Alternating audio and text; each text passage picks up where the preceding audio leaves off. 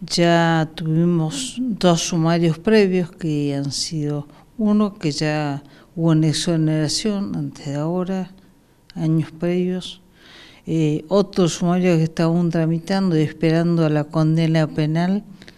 pero hubo un hecho nuevo este, que ha motivado que tomemos una decisión más profunda eh, con otro personal de escuela que ya ha sido cancelada su designación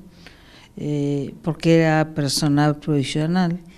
eh, y que esta repetición de hechos mm, de abusos nos ha llevado a tomar la decisión preventiva de separar transitoriamente todo el personal de la escuela, reubicándolos en otras funciones, que ya iniciado una investigación sumaria, de esa investigación sumaria.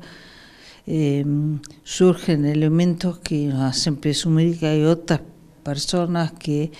por omisión o por acción han tenido un nivel de responsabilidad.